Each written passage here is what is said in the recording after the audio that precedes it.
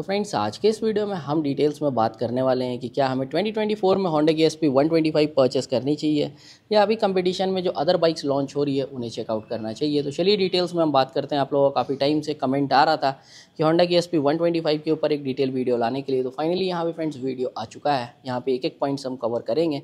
सबसे पहले तो फ्रेंड्स ये इसका बिल्कुल ही लेटेस्ट मॉडल है, जो 2024 में आपको देखने को मिलता है। और करेंटली बाइक जो है वो फ्रेंड्स यहाँ पर अभी ऑन रोड प्राइसिंग आपको मिलता है। One lakh eight thousand rupees के अप्रॉक्स में इसका फ्रेंड्स यहाँ पे डिस्क ब्रेक वाला मॉडल जो कि इसका टॉप मॉडल है।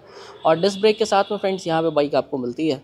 आप देख लें आप इसका डिस्क ब्रेक 240 फोर्टी mm का आपको यहाँ पे डिस्क ब्रेक मिलेगा।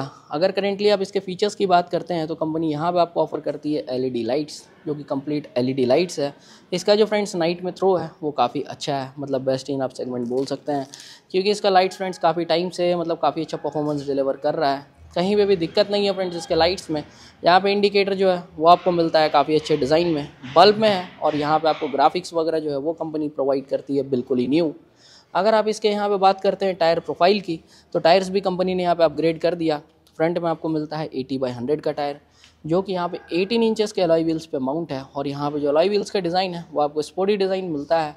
फ्रंट में कंपनी ऑफ़र करती है टेलीस्कोपिक फोक्स जो कि आता है रिफ्लेक्टर्स के साथ में। और यहाँ से आप इसका जो लुक्स है, वो देख पा रहे होंगे। साथ के साथ इसका फ्रेंड्स अगर आप टैंक भी देखते हैं तो न्यू ग्राफिक्स के साथ में आ रहा है। काफ़ी स्पोर्टी लगता है देखने में। रेयर का टायर आपको कंपनी ने यहाँ पे अपग्रेड करके ऑफ़र किया हंड्रेड बाई एटी का, जो कि एटीन इंचेस के अलॉय व्हील्स पे माउंट है। यहाँ पे सस्पेंशन जो है, वो काफ़ी अच्छा है मतलब सिटी कंडीशंस प्लस यहाँ पे हाईवेज पर भी काफ़ी अच्छी स्टेबिलिटी प्रोवाइड करता है। सीट का जो लेंथ है, वो अच्छा है कंफर्टेबल है कुशनिंग काफ़ी अच्छी है। अगर आप इसके डिस्प्ले को देखते हैं तो कंप्लीट यहाँ पे डिजिटल डिस्प्ले है। जो कि आता है इकोमीटर के साथ में, जिससे कि आपको पता चलते रहता है कि आप इकोनॉमी स्पीड में चला रहे हैं या फिर नहीं, जिससे कि आपको यहाँ पे मैक्सिमम माइलेज मिले। साथ के साथ यहाँ पे आपको कंपनी प्रोवाइड करती है engine kill switch electric start और ये नॉर्मल स्टार्ट नहीं है, ये आता है साइलेंट स्टार्ट फीचर के साथ में, जो कि यहाँ पर काफ़ी अच्छा है। और ज़्यादातर फ्रेंड्स आपको हाई एंड बाइक्स में ये सब फीचर्स मिलता है बट यहाँ पर कंपनी आपको प्रोवाइड कर रही है। यहाँ पर आपको मिलता है pass high beam low beam indicators और हॉर्न बाकी अगर आप टैंक को देखते हैं तो कुछ इस टाइप का यहाँ पे टैंक है, काफ़ी मस्कुलर है।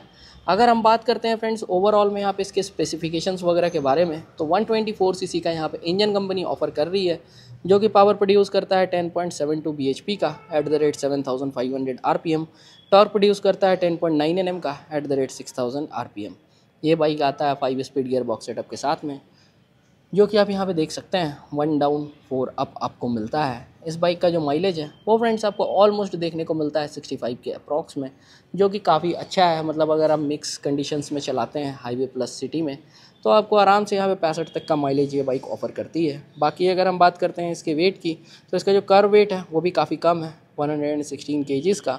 इस बाइक का जो टॉप स्पीड है, वो आपको हंड्रेड के अप्रॉक्स का मिलता है। और यहाँ पे कंपनी जो आपको टैंक प्रोवाइड कर रही है, वो काफ़ी बड़ा है। 11.2 लीटर्स का टैंक है तो काफ़ी अच्छा रेंज हो जाता है फ्रेंड्स मतलब अगर आप देखते हैं तो लगभग में ये यहाँ पे आपको साढ़े छः सौ से सात सौ किलोमीटर तक का रेंज जो है वो ये यहाँ पे प्रोवाइड करेगा। मतलब फुल टैंक आप कराते हैं तब। अगर हम बात करते हैं फ्रेंड्स इसके सस्पेंशंस की तो सस्पेंशंस के बारे में आपको हम यहाँ पर ऑलरेडी बता रखा है। ये बाइक आती है सीबीएस के साथ में। कॉम्बी ब्रेकिंग सिस्टम आप देख पा रहे होंगे। यहाँ पे फ्रेंड्स आपको दो वायर्स दिखेगी।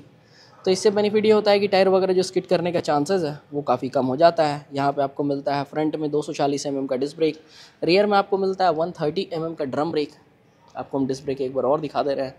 तो ये है यहाँ पे इसका डिस्क ब्रेक और यहाँ पे है इसका ड्रम ब्रेक तो रेयर में डिस्क ब्रेक का ऑप्शन नहीं है रेयर में ड्रम ब्रेक मिलेगा। बाकी यहाँ पे फ्रेंड्स अगर आप देखते हैं ओवरऑल में इसके मतलब अगर आप सीट हाइट की बात करते हैं तो 790 नाइन्टी mm के अप्रॉक्स का इसका सीट हाइट है। तो अगर आपकी हाइट यहाँ पे फाइव फीट फाइव इंच के भी अप्रॉक्स में है तो ईजिली आप इस बाइक को यहाँ पर मैनेज कर सकते हैं, क्योंकि बाइक काफ़ी लाइट वेटेड है। तो सीट हाइट भी यहाँ पे थोड़ा कम है तो चलाने में काफ़ी कंफर्टेबल ये रहती है। बाकी अगर हम बात करते हैं फ्रेंड्स इसके यहाँ पे व्हील बेस के बारे में तो twelve hundred and eighty five M M का यहाँ पे आपको व्हील बेस देखने को मिलता है। ओवरऑल में जो इसकी हाइट है, वो है eleven hundred and three M M की।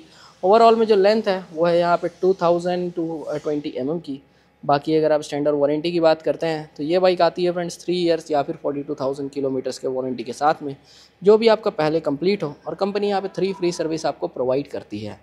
अब फ्रेंड्स ये हो गई यहाँ पे इसके टेक्निकल स्पेसिफिकेशंस की बात। अब हम बात करते हैं कि 2024 में आपको इस बाइक के साथ जाना चाहिए या फिर नहीं।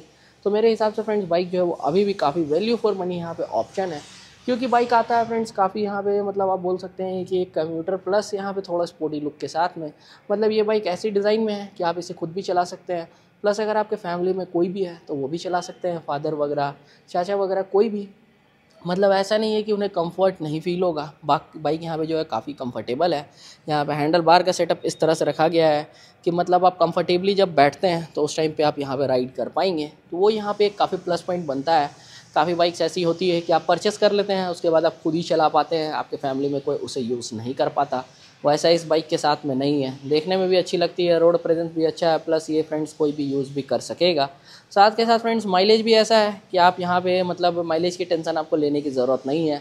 साठ से पैंसठ तक का माइलेज तो खैर नो डाउट यहाँ पे बाइक से मिल ही जाता है। जितने भी लोग यहाँ पे एसपी ओनर है, वो एक बार ज़रूर से कमेंट करें कि उनकी बाइक क्या माइलेज यहाँ पे ऑफ़र कर रही है। तो फ्रेंड्स माइलेज के मामले में ये बाइक यहाँ पे काफ़ी अच्छी स्टैंड करती है। साथ के साथ वाइडर टायर्स आने के बाद यहाँ पे जो ग्रिप है, वो भी काफ़ी बढ़ गया है। पहले लोगों का कंप्लेन रहता था कि यहाँ पे टायर्स पतले हैं। तो उतना ग्रिप नहीं मिलता तो कंपनी ने उस बात को सुना और यहाँ पे ध्यान देते हुए वाइडर टायर्स आपको प्रोवाइड कर दिए। तो फ्रेंड्स ये थी यहाँ पे कुछ पॉइंट्स जो कि यहाँ पे होंडा की एस पी को काफ़ी वैल्यू फॉर मनी ऑप्शन बनाती है। 2024 में भी आप काफ़ी लोग कमेंट करेंगे कि बाइक में ब्लूटूथ नहीं आ रहा, या फिर यहाँ पे कंपनी ने कुछ अपग्रेड नहीं किया है। तो ब्लूटूथ फ्रेंड्स अभी फ़िलहाल में आपको नहीं मिलता। बाकी डिस्प्ले की जो यहाँ पे क्वालिटी है, वो काफ़ी अच्छी है। यहाँ पे सारा जो बेसिक फीचर्स है, वो आपको मिल जाता है। जैसे कि फ्रेंड्स यहाँ पे आपको गियर पोस्टिंग इंडिकेटर वगैरह सब कंपनी प्रोवाइड कर देती है। और ब्लूटूथ कनेक्टिविटी की मतलब डे टू डे मतलब कम्यूटिंग में वैसी कोई बहुत ज़्यादा ज़रूरत नहीं होती है। बट अभी फ़िलहाल में अगर आप देखते हैं तो ब्लूटूथ को छोड़कर बाकी ऑलमोस्ट यहाँ पे बाइक में आपको सभी कुछ देखने को मिल जाता है। तो आप हमें कमेंट करके ज़रूर से बताएँ कि आपको यहाँ पे होंडा की एस पी कैसी लगती है। तो आज के इस वीडियो को फ्रेंड्स हम यहीं पर एंड करना चाहेंगे। अगर आपको बाइक्स लेनी है तो आप विज़िट कर सकते हैं फ्रेंड्स और ये होंडा यहाँ पर भी बाइक का जो स्टॉक्स है वो आया हुआ है और ऑलमोस्ट आपको सभी कलर ऑप्शंस यहाँ पे देखने को मिल जाएगा। आपको यहाँ पे फ्रेंड्स वीडियो कैसा लगा, हमें कमेंट करके बताएँ, और अगर हम कुछ पॉइंट्स यहाँ पे भूल गए हों तो वो भी आप हमें कमेंट करके बता सकते हैं। जल्दी मिलेंगे फ्रेंड्स आपसे नेक्स्ट वीडियो में, तब तक के लिए I am Satyam Gupta signing off thank you friends